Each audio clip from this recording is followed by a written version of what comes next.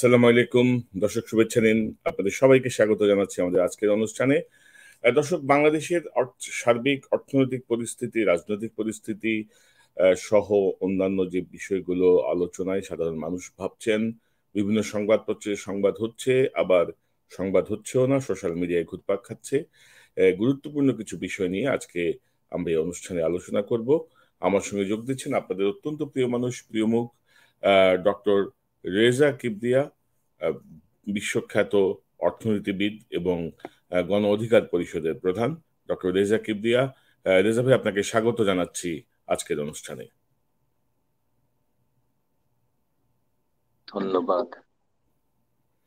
Thank you Reza ভাই আপনি আমাকে শুনতে পাচ্ছেন ঠিক মতো আমি শুনতে পাচ্ছি হ্যাঁ। জি। তো রেজা ভাই প্রথমে যে বিষয়টি আলোচনা করা প্রয়োজন, যে বলা হচ্ছে যে আমাদের ইকোনমির অবস্থা খুবই খারাপ যে কোনো সময় আইএমএফ এর রেড ফ্ল্যাগ পেতে পারে বাংলাদেশ ইয়েলো পেতে হয়তো খুব বেশি সময় নেই, তারপর পরে রেড ফ্ল্যাগের দিকে যাবে যে যে সমীক্ষাগুলো দেখা যাচ্ছে বা যে পরিসংখ্যান পাচ্ছি।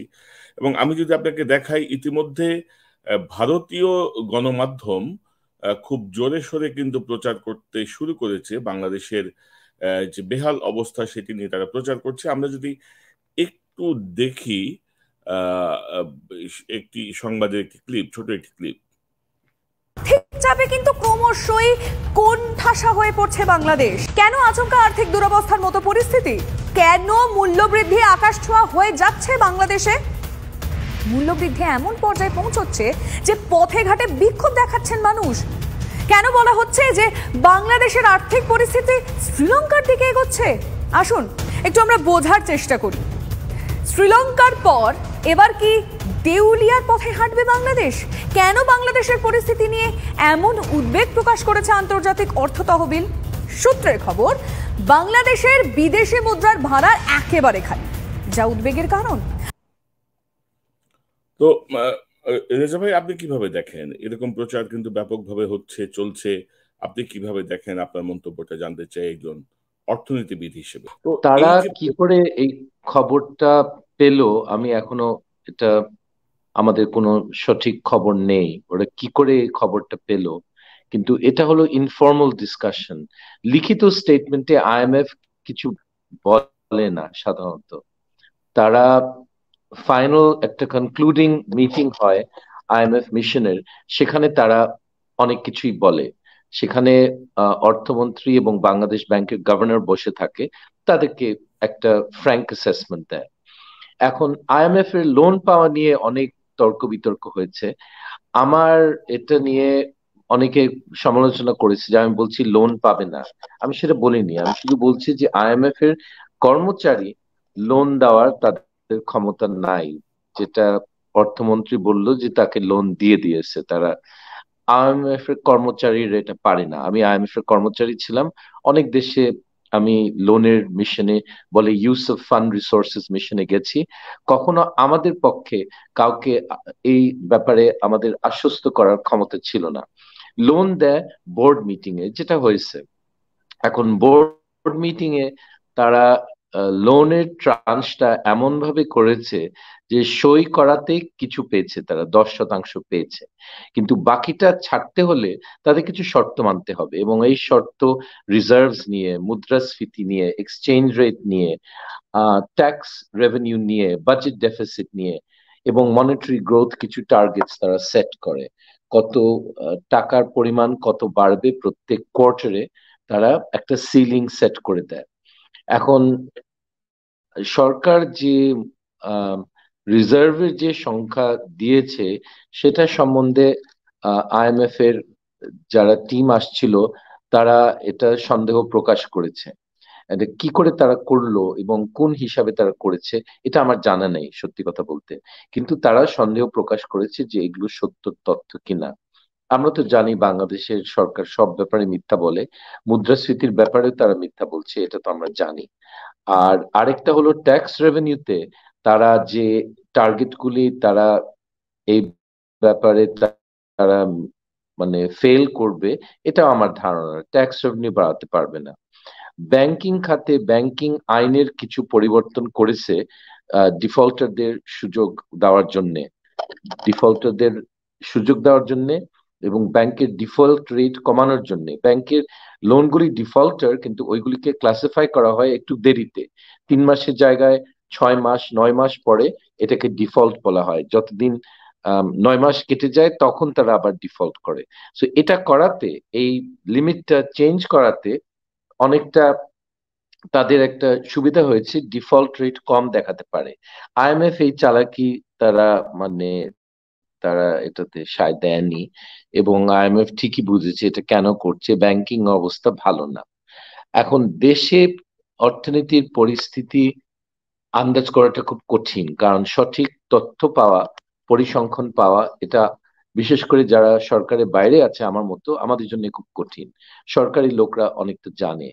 আসল রিজার্ভ এর সংখ্যাটা কত? রিজার্ভ যদি তিরিশ বিলিয়ন ডলার হয়, তাহলে আইএমএফ কে দরকার নেই। সো এই কথাটা আমরা সবাই আমরা বলছি যে তিরিশ বিলিয়ন তো ইটস ভেরি কমফর্টেবল রিজার্ভ সাড়ে তিন মাসের ইম্পোর্ট কভার তিন মাসের নিচে গেলে তখন খুব চিন্তা হয়। কিন্তু এটা তো কমফর্টেবল রিজার্ভ তিরিশ বিলিয়ন পাকিস্তানের আট বিলিয়ন আছে, শ্রীলঙ্কার টু পয়েন্ট সিক্স বিলিয়ন আছে। যদি সরকারের পরিসংখ্যানটা ঠিক হয়, তাহলে কোনো দুশ্চিন্তার কারণই নাই। তাহলে এলসি করতে অসুবিধা হচ্ছে ব্যবসায়ীদের, এটা তো আপনারা শুনেছেন, জানেন। যে কোনো ব্যবসায়ীর সাথে আপনি যদি কথা বলেন, আপনি জানতে পারবেন যে এলসি খোলা সম্ভব হচ্ছে না। তো এই অবস্থা কেন? এবং ইন্ডিয়াতে এটা একটা স্টেট ব্যাংক অফ ইন্ডিয়ার একটা ডিরেক্টিভ আমি পড়েছি, ইন্ডিয়াতে বাংলাদেশের এলসি তারা একসেপ্ট করে না। এটা খুবই একটা দুশ্চিন্তার কারণ। যে আমাদের ব্যাংকিং খাতকে মানুষ এইভাবে দেখে যে এত ঝুঁকিপূর্ণ যে এলসি একসেপ্ট করবে না। আপনারা একটু চিন্তা করেন ব্যাংকিং খাত ঠিক মতো কাজ না করলে দেশের সব ব্যবসার, সব মানুষের জীবনে খুব কঠিন হয়ে যায়। তো এটা এখন পরিস্থিতি এত বোঝা যাচ্ছে না, কিন্তু আমাদের ধারণা ব্যবসায়ীদের সাথে যদি আপনি আলোচনা করেন, বুঝবেন যে কেউ বেশি সন্তুষ্ট না। আওয়ামী ব্যবসায়ীরাই বলে তাদের এই সরকারের অদক্ষতার জন্য তাদের অসুবিধা হচ্ছে। ওরা স্বীকার করবে। যে কোনো তাহলে তাহলে সরকার যে আইএমএফ এর কাছে গেল ঋণের জন্য ঋণ চাচ্ছে বা সবকিছু মিলিয়ে তার মানে কি তারা যে প্রজেকশন দেখাচ্ছে তিরিশ বিলিয়ন ডলারের রিজার্ভ এখনও আছে তাহলে আপনি কি মনে করেন যে এখানে কোনো ফাঁকি আছে? এখানে কোনো মিথ্যাচার আছে? আমি মনে করি যে ডেফিনেটলি ওদের মিথ্যা পরিসংখ্যান আইএমএফ অ্যাকসেপ্ট করবে না। আইএমএফ একটা পিকুলিয়ার হ্যাবিট আছে, এটা আমি সব দেশে দেখেছি।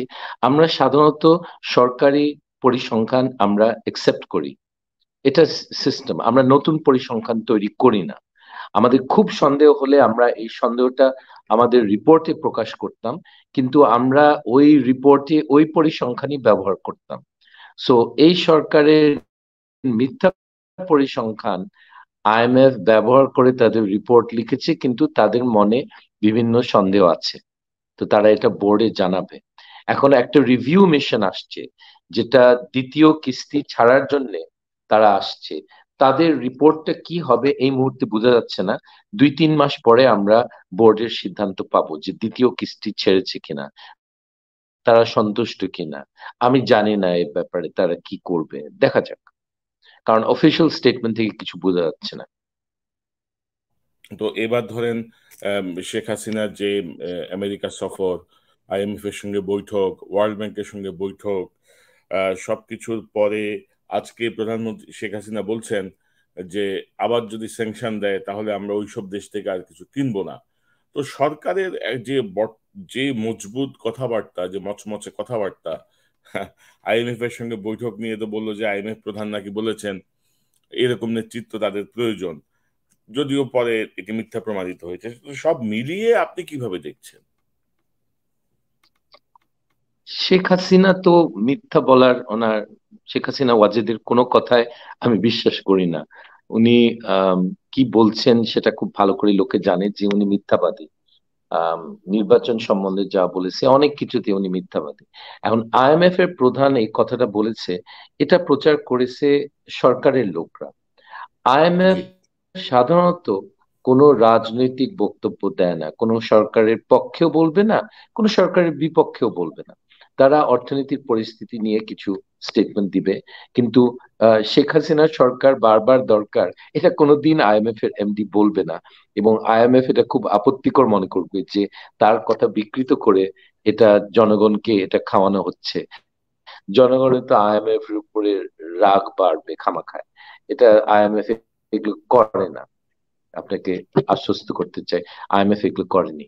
এখন শেখ হাসিনার বিদেশের সফর, জাপানে অনেক কিছু উনি সই করে আসছেন। অনেক লেনদেন হয়েছে, এটা আমাদের দেশের পক্ষে গেছে কি বিপক্ষে গেছে, এটা নিয়ে অনেক জল্পনা কল্পনা হয়েছে।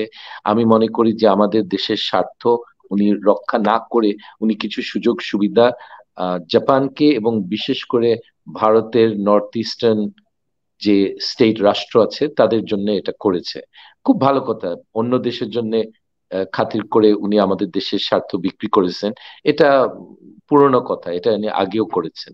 সরকার যদি, এই সরকার টিকিয়ে রাখার জন্য উনি যে কোনো জিনিস করতে রাজি আছে, এটা আমরা সবাই জানি। এখন আমেরিকায় গেছে, আমেরিকার কোনো সিরিয়াস লোক ওনার সাথে দেখা করতে রাজি হয়নি। আমেরিকায় একশো জন সেনেটর, আমার যদ্দূর জানি পাঁচশো সত্তর জন কংগ্রেসম্যান, কেউ ওনার সাথে বসতে রাজি হয়নি। স্টেট ডিপার্টমেন্টের কোনো মানে যেগুলো সেকশন অফিসার ওরাও তার সাথে বসতে চায়নি। তো ওরা সবাই সিগন্যালটা পেয়েছে যে এই মহিলার একটা স্বৈরাচার এবং ঘৃণিত স্বৈরাচার, এর সাথে বসে আমাদের ক্রেডিবিলিটি আমরা কেন নষ্ট করব?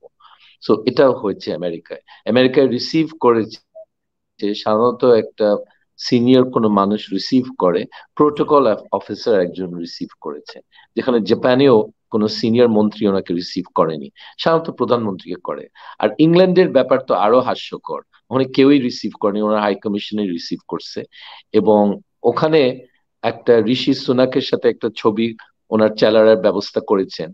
একটা কমনওয়েলথ সেক্রেটারিয়েটের রিসেপশনে ঋষি সুনাক বেচারে হেঁটে যাচ্ছিল। ওর চেলারা ওকে পাকড়াও করে ওকে বসাইছে যে প্রাইম মিনিস্টার আপনাকে সালাম দিতে চায়। তো প্রাইম মিনিস্টারকে করিডোরে একটা সোফায় বসিয়ে ওটা রাষ্ট্রীয় পর্যায়ের আলোচনা হয়ে গেল। কমনওয়েলথ সেক্রেটারি রিসেপশনের করিডোরে খুব ভালো কথা। সাধারণ মানুষ ছবিটা দেখবে যে আরে ঋষি সুনাকের সাথে রাষ্ট্রীয় আলোচনা করে আসছে ইংল্যান্ডে কি ভাবছেন? আওয়ামী লীগেরা বলবে। কিন্তু যারা এগুলো দেখেছে তারা জানে যে এইভাবে রাষ্ট্রীয় আলোচনা হয় না। একটা রিসেপশনের করিডোরে একজনকে ধরে একটা ছবি তুললে এটা যে খুব খাতির করেছে, এটা কোনো লক্ষণ এখানে নেই। সো ঠিক আছে, উনি এগুলো করে আসছেন। ওনার দেশে এবং বিদেশে ওনার যে ওনার পক্ষে, ওনার যে সম্মান, যে কোন পর্যায়ে চলে গেছে, এটা আমরা সবাই জানি। সো এটা ওনার এই ট্রিপে একটা ভালো জিনিস হয়েছে, উনিও ধারণা করছেন যে দেশে এবং বিদেশে ওনাকে অসম্মান করে, ঘৃণা করে। সো এটা ওনার মাথায় এবার, আমার ধারণা, ওনার মাথায় এবার ঢুকেছে যে আমাকে তো কেউ পাত্তা দেয় না বিদেশে। তা আমাদের দেশের মানুষের জন্য এটা লজ্জার বিষয় যে আমার যাদেরকে প্রধানমন্ত্রীর অফিসে যে দখল করে আছে, দখল করায় এটা নিয়ে আমি নেক্সট আলোচনা করব। তাকে এত অসম্মান করে পৃথিবীর মানুষরা, এটা তো খুশির খবর না। এটা আমাদের উপরে একটা প্রতিফলন পড়ে যে আমার প্রধানমন্ত্রী যে এরকম একজন মানুষ একটা নিম্ন স্তরের মানুষ, তাহলে আমারও তো স্ট্যাটাস এটাতে কমে যায়। প্রত্যেক দেশের, প্রত্যেক বাঙালি, বাংলাদেশিদের স্ট্যাটাস কমে যায় এটাতে, যে আমাদের লোক। উনি কত যে অসম্মান সহ্য করবেন দেশে এবং বিদেশে আমি জানি না, কিন্তু ওনার ক্ষমতায় থাকার জন্য উনি যে কোনো কাজ করবেন, এটাও আবার প্রমাণ হলো। তো উনি আজকেই আজকেই বললেন মানে গতকাল বলেছেন যে, আমি যেটি বলছিলাম আপনাকে আগে যে কেউ যদি স্যাংশন দেয়, সেই স্যাংশনের ওইসব দেশ থেকে আমরা আর কিছু কিনবো না। অর্থাৎ তিনি কাউন্টার হুমকি দিলেন। উন্নত রাষ্ট্র বা পশ্চিমা রাষ্ট্রগুলোকে যারা স্যাংশন দেওয়ার ক্ষমতা রাখে। আমি শুনে খুশি হলাম যে উনি স্যাংশনের ভয় করছেন। এটা ভালো। প্রথম সেকশনে একটা থাপ্পড় খেয়েছে এই সরকার। গতবার স্যাংশন দিয়ে অনেক মানুষের যান বেঁচে গেছিল। আমেরিকা স্যাংশন দেওয়ার পর গুম, হত্যার পরিসংখ্যানে দেখা যায় যে অনেক কমে গেছিল। মাসে তিরিশ থেকে ষাট জনের জায়গায় দু একজনের বেশি হয় না। তো অনেক লোকের প্রাণ বেঁচেছে আর উনি যদি এখন ভয় করেন, তাহলে ওনার লোককে দিয়ে গুম, হত্যা করাটা উনি এই জিনিসটার থেকে এই প্রবণতাটা একটু কমবে। সেটা ভালো, উনি স্যাংশন ভাবছেন। কিন্তু স্যাংশন যে দেশটা দিচ্ছে তার থেকে কিছু কিনবে না, খুব সুন্দর কথা। ওনার মানে সাহস এবং ওনার কথাবার্তা তো ইনক্রেডিবল কিন্তু আমেরিকার থেকে তো জিনিস কেনার ব্যাপার না, আমেরিকার কাছে জিনিস বিক্রি করা। তা উনি কি আর বিক্রি করবেন না গার্মেন্টস সেটা বলেন যে আমি কিনবো না, বিক্রি করব না, তোমাদের সাথে ট্রেড বন্ধ করছি। যদি উনি এটা করতে চান, উনি করতে পারেন। এটা দেশের উপরে একটা নেতিবাচক প্রভাব পড়বে। এই জিনিসটা বোঝার এই মূর্খ সরকারের এটা ক্ষমতা বোধহয় আছে। সো দেখা যাক কি করে। তো কিনবে না কিন্তু ওরা বিক্রিও করবে না দেখব। দেখব কোথায় যায় শেখ হাসিনা।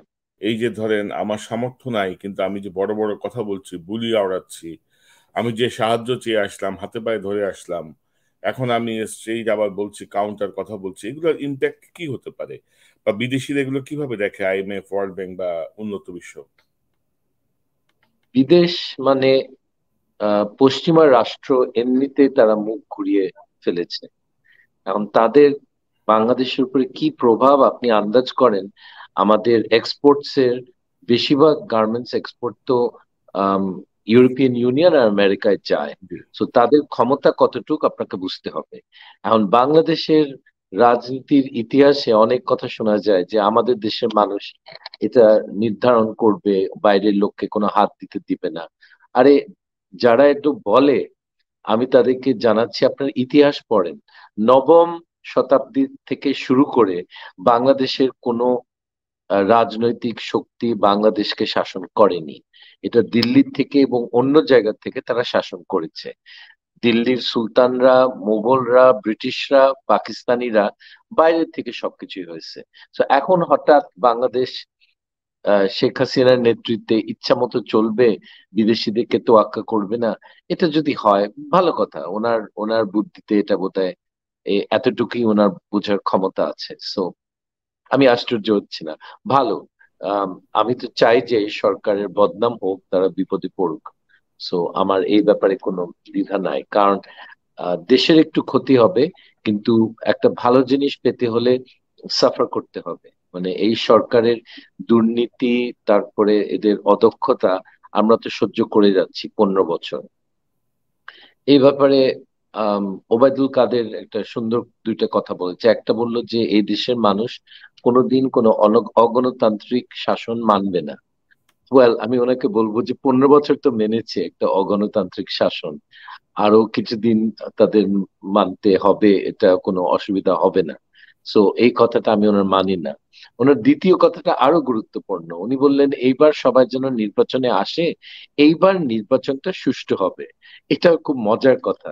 তার মানে আগের কোনো নির্বাচন সুষ্ঠু হয়নি। উনি এটা মোটামুটি স্বীকার করেছেন পাবলিক স্টেটমেন্টে স্বীকার করেছেন। এইবার নির্বাচনটা কিন্তু সুষ্ঠু হবে। এখন প্রমাণিত ভোট চোরের কাছে আমরা বারবার ওখানে যাব, আপনি কি আশা করেন যে বিরোধী দলরা প্রমাণিত ভোট চোরের সাথে হাত মিলিয়ে নির্বাচনে যাবে? কোনোদিন হবে না। দালাল ছাড়া কেউ যাবে না। জি। আমি নির্বাচনের প্রসঙ্গটি আসছি, তার আগে আমি যদি বিশেষ করি যে শেখ হাসিনার মুখের বক্তব্যের সাথে তার কার্যক্রমে মিল না। তিনি মুখে মুখে যত কড়া কথাই বলেন বাস্তবে কিন্তু তিনি অনুগ্রহের জন্যই সর্বশেষ তিনটি দেশ ঘুরে এসেছেন, যদিও অনুগ্রহ লাভে তিনি ব্যর্থ হয়েছেন। তো একটি প্রসঙ্গ, পত্রিকায় একটি সংবাদ এসছে যে দু হাজার পনেরো সালে বিদেশি ঋণ ছিল চার হাজার নয়শো দশ কোটি টাকা। দুই বাইশে এই ঋণের পরিমাণ হচ্ছে সাতানব্বই হাজার সাতশো চল্লিশ কোটি টাকা। এই যে ভয়াবহ একটা ঋণের বোঝা এই এই বিষয়টা আপনি কীভাবে দেখেন? বাঙালিদের উপর, এই দেশের উপরে কি পরিমাণ চাপ সৃষ্টি হতে পারে আপনি মনে করেন? জনগণকে মানতে হবে যে তাদের করের পয়সায় এটা আবার শোধ করতে হবে। কারণ সমস্যা হলো লোন নেওয়া, ঋণ নেওয়াটা কোনো অপরাধ না। আপনি যদি ঋণ নিয়ে যদি ভালো কাজ করেন, দেশের রিল উন্নতি করেন, তাহলে ঠিক আছে, এটা মেনে নেওয়া যায়। আপনাকে উদাহরণ দিচ্ছি, আমেরিকায়, আহ, আঠারোশো পঞ্চাশ, ষাট এবং সত্তরের দশকে তারা প্রচুর ঋণ নিয়েছিল পৃথিবীর থেকে। বিভিন্ন দেশ থেকে, বিশেষ করে ইংল্যান্ড থেকে তারা অনেক বড় বড় ঋণ নিয়ে আসতো কিন্তু তারা এই ঋণের টাকাটা সৎ ব্যবহার করেছে, তারা রেল রোড তৈরি করেছে, যেটা আমেরিকার অর্থনৈতিক অগ্রগতির খুব বড় একটা একটা ফ্যাক্টর ছিল, একটা ইতিবাচক ফ্যাক্টর ছিল, সেটা করেছে। আমাদের সমস্যা হলো যে আমাদের কিছু তো উন্নয়ন হয়, যেটা আমাদেরকে দেখায়, কিন্তু বেশিরভাগ টাকা বিদেশে পাচার করা হয়। যে সিম্পল উদাহরণটা দিই, যে আমাদের রাস্তার দাম পৃথিবীর গড়ে কিলো পার কিলোমিটার খরচ আমাদের হলো সবচেয়ে বেশি। জাপানের চেয়ে বেশি, সুইজারল্যান্ডের সাথে চেয়ে বেশি এবং জার্মানির চেয়ে বেশি। এখন ওই দেশের রাস্তা যারা দেখেছে তারা বুঝতে পারবে, বাংলাদেশের রাস্তা অত ভালো না এবং এত জটিল কোনো সমস্যা নাই এই রাস্তা বানাতে। এত দাম হবে কেন? কারণ মানুষ চুরি করে, সরকার চুরি করে এবং ব্যবসায়ীরাও এটাতে একটা তাদের প্রতিযোগিতা সরকারের সুবিধা নেওয়ার জন্য তারা এই চুরিতে জড়িত আছে। যে কন্ট্রাক্টর গুলি আওয়ামী লীগের কন্ট্রাক্টর, তারা চুরি করে। এটা মেনে নিয়েছে। আমাদের ইন্ডিয়াতে চব্বিশশো মেগাওয়াট এর নিউক্লিয়ার পাওয়ার প্লান্ট, পারমাণবিক যেটা বিদ্যুৎ কেন্দ্র, সেটা খরচ হয়েছে তাদের তিন বিলিয়ন ডলার। তা আমি মুদ্রাস্ফীতি ধরেও আমার মনে হয় না বাংলাদেশে চার বিলিয়নের বেশি হওয়া উচিত ছিল। কিন্তু এটা হয়েছে সাড়ে তেরো বিলিয়ন। কোথায় কোথায় গেছে, কোন আপারা নিয়ে গেছে, আমরা সবাই এগুলো জানি। তো সমস্যা সেখানে যে উন্নয়ন হয়েছে, কিন্তু বেশিরভাগ টাকা চুরি হয়েছে এবং এই চুরির টাকাও জনগণকে শোধ দিতে হবে। উন্নয়নের টাকা শোধ দিতে কারও আপত্তি নাই। কিন্তু চুরির টাকা আমরা শোধ করব কেন? আমরা বিদেশি ঋণ সংস্থার সাথে একটা আলোচনায় বসবো যখন একটা অন্য ধরনের একটা সরকার, একটা দায়িত্বশীল যখন সরকার আসে, তারা নিশ্চয়ই বসবে বিভিন্ন ঋণ দেওয়ার যে যে প্রক্রিয়া, এটা নিয়ে বিভিন্ন দেশের সাথে বসবে। তো আমরা কি অন্য প্রসঙ্গে আসি, রেজা ভাই নির্বাচন কিন্তু এগিয়ে আসছে। দেখা যাবে যে আপনার ডিসেম্বরেই যদি নির্বাচন করতে হয়, অক্টোবরের মধ্যে তফসিল ঘোষণা করতে হবে।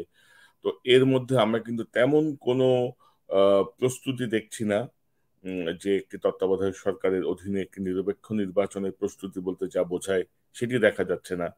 সেটি কীভাবে হবে? এক নম্বর। দুই নম্বর হচ্ছে আপনারা গণতন্ত্র মঞ্চ থেকে বেরিয়ে এসছেন কয়েক মাসের মধ্যেই। আপনাদের দিকে আবার কেউ কেউ আঙ্গুল তুলছেন যে আপনারা আওয়ামী লীগের বি টিম হিসেবে মাঠে অ্যাক্ট করবেন কিনা? কারণ অতীতে আমরা দেখেছি যে অনেক দল কিন্তু ধরেন আওয়ামী লীগের বিরোধিতা করে আবার আওয়ামী লীগের পক্ষেই গোপনে কাজ করেছে। আপনারা সেরকম কোন এজেন্ডা নিয়ে আসছেন কিনা? জনমনে প্রশ্ন। সেটা থাকতে পারে এই ধরনের প্রশ্ন অনেক লোকে বলছে। কিন্তু এটা সময় তো বলে দিবে আমরা কোন দিকে আছি। আমাদের কাজে তো এটা আন্দাজ করা যাবে যে তারা সরকারের পক্ষে বা সরকারের বিপক্ষে। এটা বুঝতে পারবে। তো এটা আমি নিয়ে বদার্ড না। এটা আমি এই মুহূর্তে আমি ওয়াদা করে মানে কসম খেয়ে বলে কোনো লাভ নাই। মানুষ যারা বিশ্বাস করতে চায় খারাপ জিনিস আমাদের সম্বন্ধে, তারা বিশ্বাস করবে। কিন্তু সময়ের সাপেক্ষে তারা বুঝবে যে এই কথাটা একেবারে মিথ্যা। অসুবিধা নাই। এগুলো হয়। এগুলো বাংলাদেশের রাজনীতিতে গালি দেয় অবিশ্বাস করে। এমন একটা পর্যায়ে চলে গেছে রাজনীতি যে মানুষকে রাজনীতিবিদদের বিশেষ করে তারা অনেক ঘৃণা করে বেশিরভাগ রাজনীতিবিদদের। গণতন্ত্র মঞ্চ থেকে আপনারা কেন বেরিয়ে আসলেন? আমরা এই গণতন্ত্র মঞ্চের কার্যক্রমে দেখেছি যে এরা খুব ইফেক্টিভ গ্রুপ না। তাদের জনসমর্থনের দিকে তাদের শক্তি এমন কিছু না যে আমাদের শক্তি বৃদ্ধি পাবে। ওদের বৃদ্ধি, শক্তি বৃদ্ধি পেয়েছে, আমরা ওদের ওখানে গিয়ে। তো আমাদের কোনো লাভ হয়নি। এবং আমাদের দলের মধ্যে, আমাদের কেন্দ্রীয় কমিটির আলোচনায় আমি একখানে বলেছি যে, পঁয়তাল্লিশ জন কথা বলেছে, পঁয়তাল্লিশ জন কথা বলেছে, তাদের গণতন্ত্র মন সম্বন্ধে নেতিবাচক কমেন্ট করেছে। এখানে থাকার কোনো মানে হয় তো একজন তো দুইজন তো ওদের পক্ষে কথা বলতে পারতো, কেউ বলে না। তো এটাও আমাদেরকে জিনিসটা শুনতে হবে, দলের মধ্যে নেতা এবং কর্মীরা কেউ এখানে থাকতে চায়নি। আচ্ছা। ঠিক আছে, দেখা যাক মানে মানুষের যে সন্দেহ সেটি আশা করি সত্য হবে না। সামনের দিনগুলোতেই বলে দেবে আপনাদের ভূমিকাটা কি দাঁড়ায়। পাশাপাশি রেজা ভাই, এই যে নির্বাচন এগিয়ে আসছে, নির্বাচন আর তো বেশি সময় নেই, কিন্তু আট মাসের মতো সময় আছে। তো এর মধ্যে কিন্তু আমরা একটা নিরপেক্ষ নির্বাচনের যে প্রস্তুতি, সেটির কোনো আভাস দেখছি না। সরকার কিন্তু এখনও তাদের মতো করে নির্বাচনের কথা বলছেন। আপনি কি মনে করেন এভাবে কি আপনারা কি শেখ হাসিনার অধীনে যদি নির্বাচন হয়, আপনারা কি সেই নির্বাচনে অংশ নেবেন কিনা? না, আমরা শেখ হাসিনার অধীনে কোনো নির্বাচনে যাব না। যারাই যায়, তারা দেশের মানুষের কাছে দালাল হিসেবে চিহ্নিত হয়ে যাবে। তারা হয়তো পাঁচ বছর এমপি গিরি করবে, কিন্তু পাঁচ বছর পরে তাদের কোনো রাজনীতি থাকবে না। যখন এই দেশে একটা সুষ্ঠু নির্বাচন হবে, তখন মানুষ তাদেরকে প্রত্যাখ্যান করবে। আমার আমার এটা বিশ্বাস। সো হ্যাঁ শর্ট টার্ম একটা গেইন একজন এমপি হলো, কিছু টাকা বানালো, এটা হতে পারে, কিছু মানুষ থাকতে পারে, কিন্তু আমাদের এটাতে কোনো ইন্টারেস্ট নাই। আর প্রস্তুতি তো নিচ্ছে সরকার। একটা সাজানো নির্বাচনের প্রস্তুতি হিসাবে আমাদের চুপ্পু যে অ্যাপয়েন্টেড হয়েছে প্রেসিডেন্ট একটা লোক যাকে কেউ সম্মান করে না, যাকে কেউ মানে না, তাকে মহামান্য বানিয়েছে।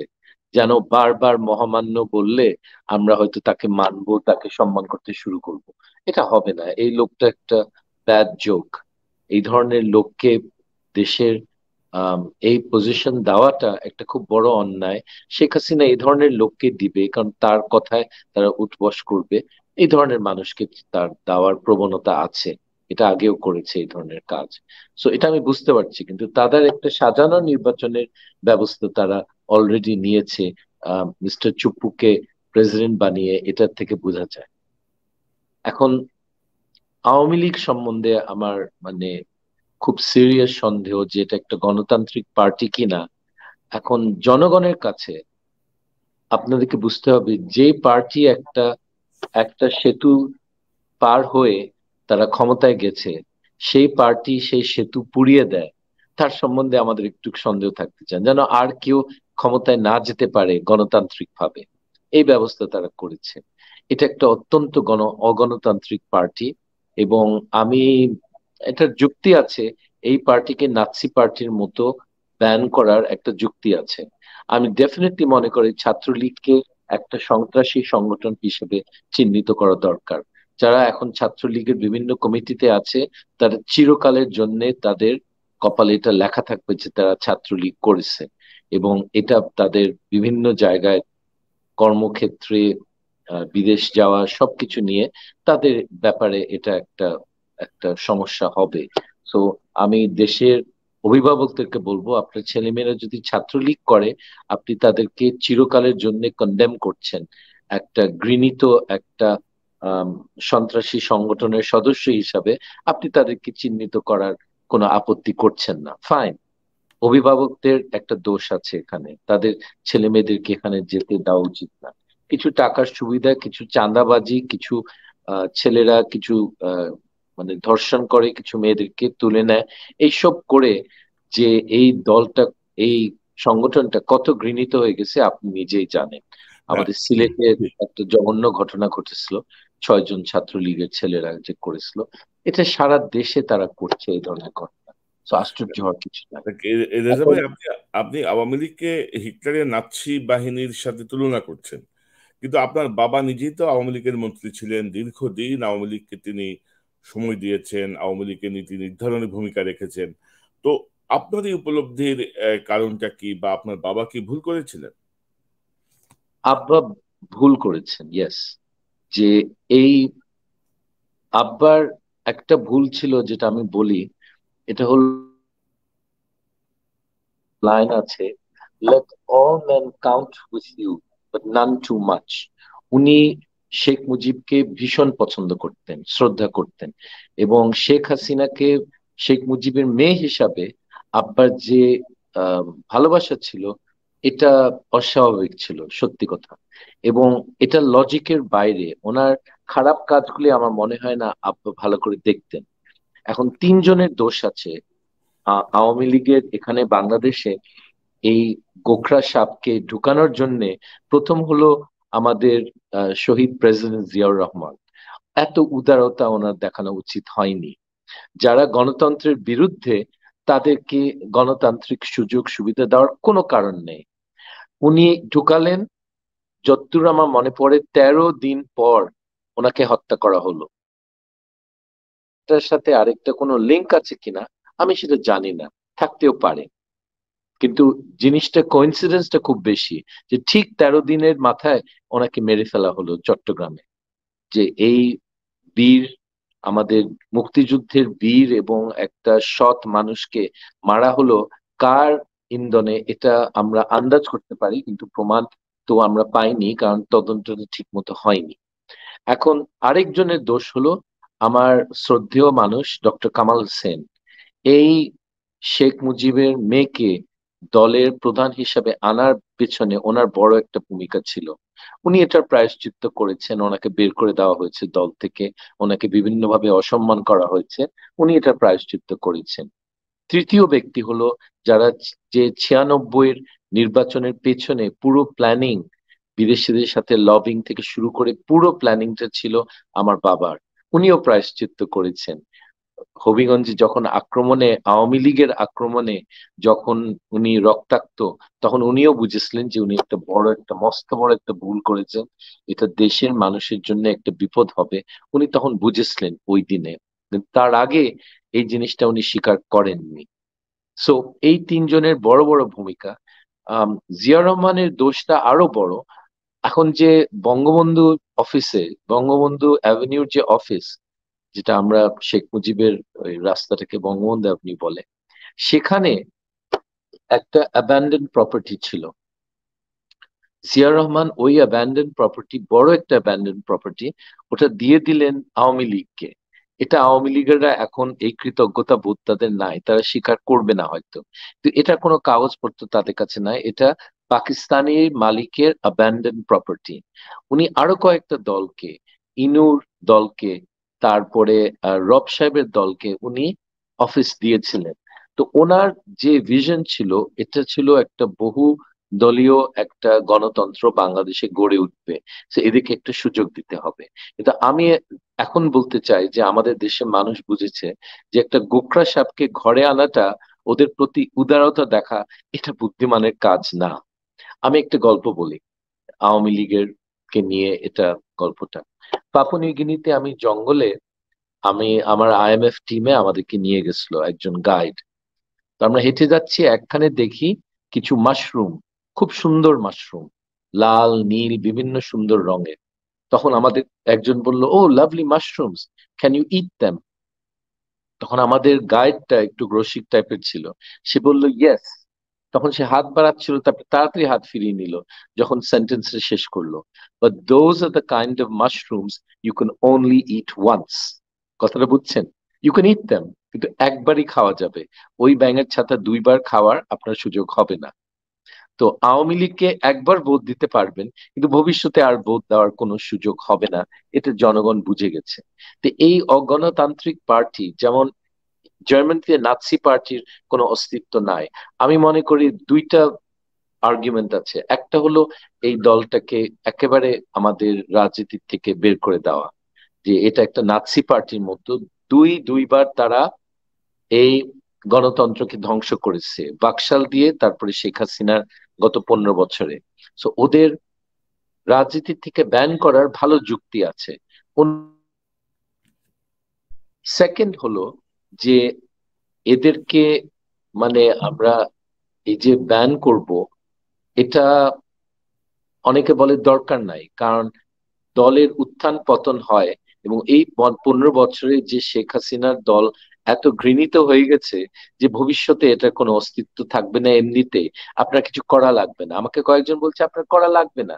তাদেরকে ঘৃণা করে। গ্রামে, শহরে সবখানে তাকে ঘৃণা করে। এবং এটার বিরুদ্ধে ওইরকম বড় অ্যাকশন নিলে তারা ভাববে যে ওদের আসলে অনেক শক্তি আমি ওটাকে দমন করছি। যারা যে সরকার যারা আসে তারা এটাকে দমন করছে। সো এদিকে ছেড়ে দেওয়া উচিত। মুসলিম লীগের যেমন একটা পতন হয়েছে, সেটা আওয়ামী লীগের হবে। মুসলিম লীগ সম্বন্ধে আপনি জাস্ট আপনারা জানেন যে আমার বাপ, দাদা, তারা ফোরটি সেভেনে নাইনটিন উনিশশো সাতচল্লিশে মুসলিম লীগ ছাড়া কোনো দলের কথা তারা মাথায় আনতো না। এটা আপনারও পরিবারে জিজ্ঞেস করেন। মুসলিম লীগ ছিল সব। মুসলিম লীগের এখন সভাপতি মুসলিম লীগের সদস্য সচিব কে আপনি একটু খোঁজ করেন। কারণ আপনি জানেন না আপনার মুখস্থ নেই। কারণ দলটার আগের মতো তো অবস্থা নেই। এটা এখন দলটা অনেকটা অপরিচিত বাংলাদেশের বিভিন্ন মহলে। আমি চিনি, মুসলিম লীগের লোকরা তার খুব ভালো দে ভেরি নাইস কিন্তু এই দলটা যে জনসমর্থনে যে কতটা কমে আসছে, আপনি আন্দাজ করতে পারছেন যে এটা কেউ কোনো অস্তিত্ব নাই। আওয়ামী লীগেরও সেরকম হবে। আমার মনে হয় না সামনের একশো বছরে বা দুইশো বছরে আওয়ামী লীগকে নিয়ে আপনার দুশ্চিন্তা করতে হবে। কারণ এই দলটা ঘৃণিত, পরীক্ষিত, অগণতান্ত্রিক একটা দল। এবং আমাদের দেশের মানুষ কোনোদিন মাফ করবে না।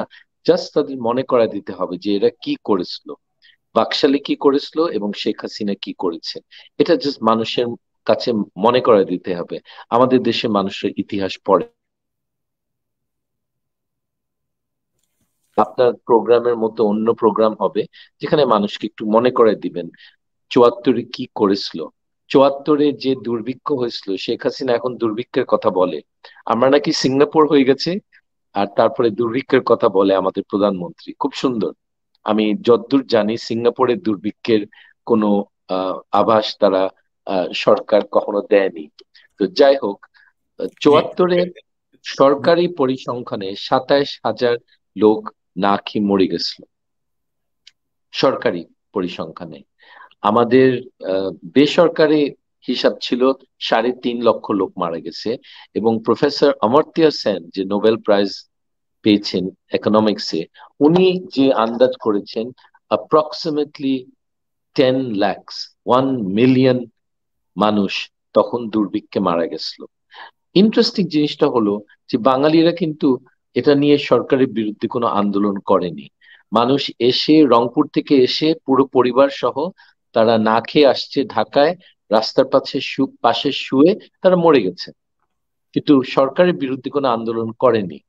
তো ঘটনাটা তো জঘন্য কিন্তু আমাদের দেশের মানুষের এই এটা তুলে ধরার জন্য কোনো আন্দোলন কোনো প্রতিবাদ এই ধরনের পাবলিক কোনো ডেমনস্ট্রেশন আমরা দেখিনি। এটা বাংলাদেশের সিস্টেম জি আমি একটা জিনিস যোগ করতে চাই জিয়াউর রহমান সাহেব সম্পর্কে আপনি বলছিলেন মূলত জিয়াউর রহমান সাহেব বহুদলীয় গণতন্ত্রের জন্য আওয়ামী লীগ তো বিলুপ্ত হয়ে গিয়েছিল বাকশালের মাধ্যমে। তিনি তো আওয়ামী লীগেরও রি রেজিস্ট্রেশনও দিয়েছেন। আওয়ামী লীগ তো বলা চলে জিয়াউর রহমানের হাতে নতুন ভাবে যাত্রা শুরু করে। তো পাশাপাশি আমার একটি প্রশ্ন যে এই যে আপনি বলছেন যে শেখ হাসিনা আবারও একটি নির্বাচনের প্রস্তুতি নিচ্ছে আপনি আবার বলছেন যে এই এই দলটি সময়ের পরিক্রমায় হারিয়ে যাবে অনেকে মুসলিম লীগের মতো। তো এইবার এই যে প্রস্তুতি, নির্বাচনের যে প্রস্তুতি, একতরফা আবারও যে প্রস্তুতি, সেটি আপনারা কীভাবে প্রতিরোধ করবেন? কি মনে করেন? আপনাদের কি প্রস্তুতি আছে? বা শেখ হাসিনা যদি এবারও যদি পার পেয়ে যায়, যাওয়ার সম্ভাবনা আছে কিনা, যদি পার পেয়ে যায়, তাহলে কি হবে? আপনারা কীভাবে কি করবেন? এটাই সবার মানে বড় প্রশ্ন যে এই স্বৈরাচার আবার পার পেয়ে যাবে কিনা। এখন এটা বিশ্বাসের ব্যাপার। আমি মনে করি আল্লাহ তালা আমাদেরকে এইভাবে পানিশ করবে না, আমাদেরকে মুক্তি দিবেন এবং এই সরকারের পতন হবে। এটা বিশ্বাসের ব্যাপার। আমি আপনাকে কোনো কংক্রিট কারণ দিতে পারব না। কিন্তু আমি বিভিন্ন ফ্যাক্টর দেখছি, দেশে এবং বিদেশে ওনার বিপক্ষে যাচ্ছে এবং এটা হবে। এত ঘৃণিত একটা সরকার কতদিন টিকবে?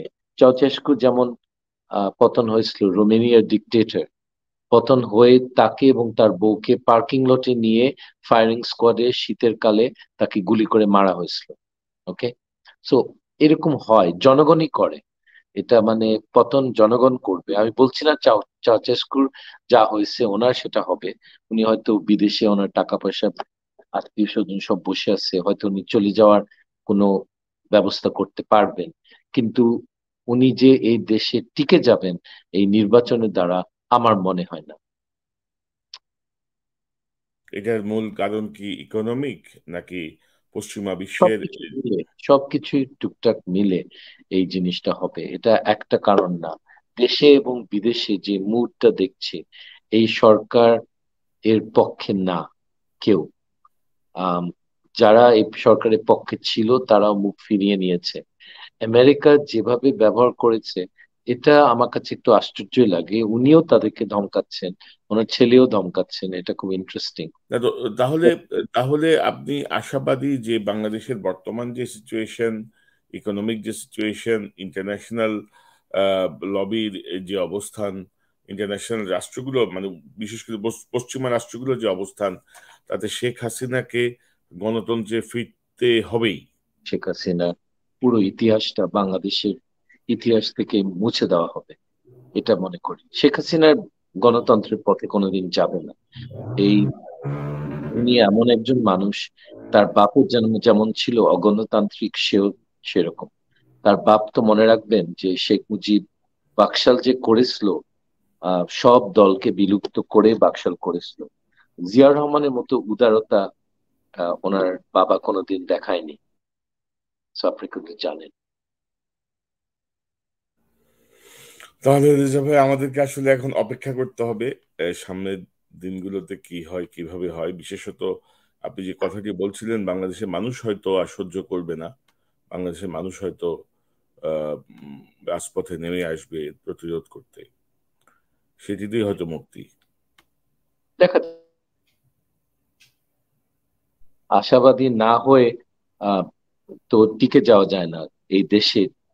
মানে থাকাই খুব কঠিন। আশাবাদী যদি না হতাম, তাহলে আমি এই দেশে থাকতাম না। আমি এ দেশের মানুষের কোয়ালিটি দেখে আমি আশাবাদী। এই দেশটা একদিন এটা কত ফাস্ট গ্রো করবে আপনার কোনো হিসাব নাই।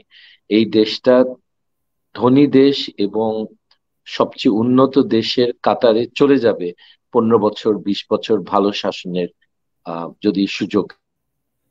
ইচ্ছা ছাড়া কেউ কিছু করতে পারবে না। সো দেখা যাক কি ঘটে। যে আমরা অপেক্ষায় রইলাম আর তো অল্প কিছুদিন বাকি। নিশ্চয়ই এর মধ্যে কি ভালো কিছুই ঘটবে বাংলাদেশের মানুষের জন্য বাঙালি জাতির জন্য। ডক্টর রেজা কিবরি আপনাকে অসংখ্য ধন্যবাদ আপনার মূল্যবান সময় দেওয়ার জন্য। থ্যাংক ইউ ইউ ভালো থেকো।